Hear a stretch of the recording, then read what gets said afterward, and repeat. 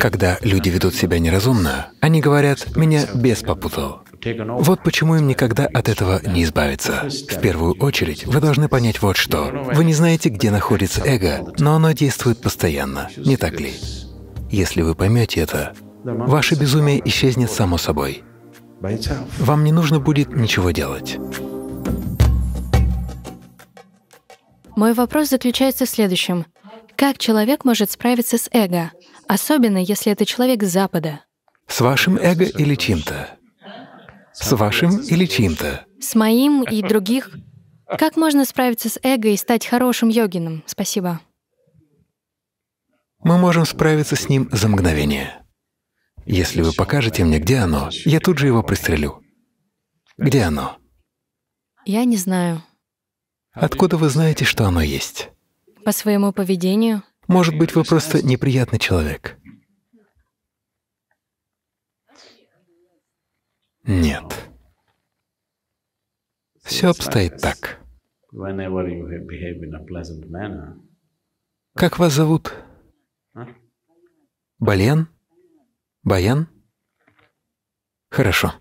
Когда вы ведете себя замечательным образом, вы Баян.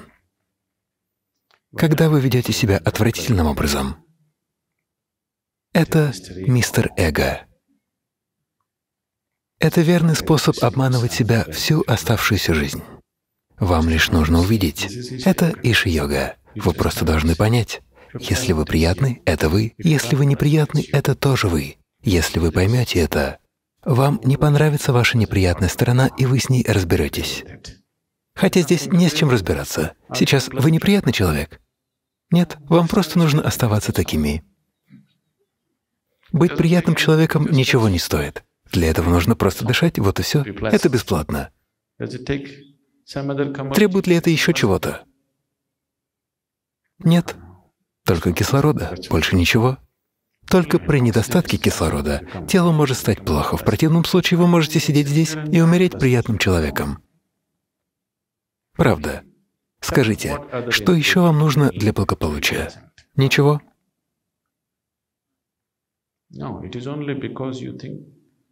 Все потому, что вы думаете, есть некая другая сущность, которая делает вас несчастными, как, например, эго.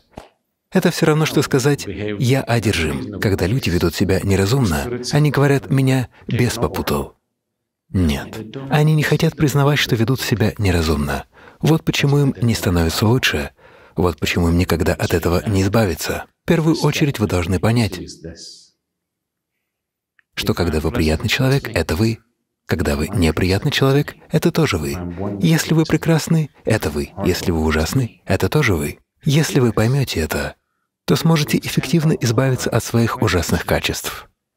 Вы не сможете оставаться с этим слишком долго, потому что есть бес, которого вы называете эго. Тогда это будет продолжаться. Это отличный самообман. Вы спросили об эго, а я спрашиваю вас, где оно? Вы говорите, что не знаете. Это чертовски хороший самообман. Вы не знаете, где ваше эго, но оно действует постоянно. Не так ли? Это самообман. Не существует никакого эго. Есть только вы. Иногда вы приятный, иногда неприятный, иногда прекрасный, иногда ужасный. Если вы поймете это, то моменты безумия исчезнут сами собой. Не нужно будет ничего делать. Вам не нужно ничего делать. Если вы поймете, что это вы ведете себя ужасно, это исчезнет. Если вы свалите все на эго или на других людей, это никогда не уйдет. Вы останетесь ужасными до конца своей жизни, а может и после нее.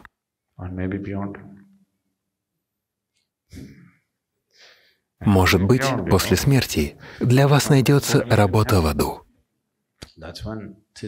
Это единственный плюс в том, чтобы быть ужасным. Если вы эффективно мучаете себя и окружающих, вам могут дать работу в аду. В раю вам работу не дадут, вам там нечем будет заняться. Мне не найдут работы в аду. Сначала мне нужно стать ужасным с людьми, тогда, возможно, и найдут. но вам работа там найдется. Если вы не прекратите обманывать себя по поводу эго, в аду лучше оставаться без работы, говорю вам.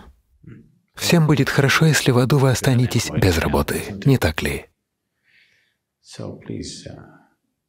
Пожалуйста, не начинайте уже сейчас готовиться к аду.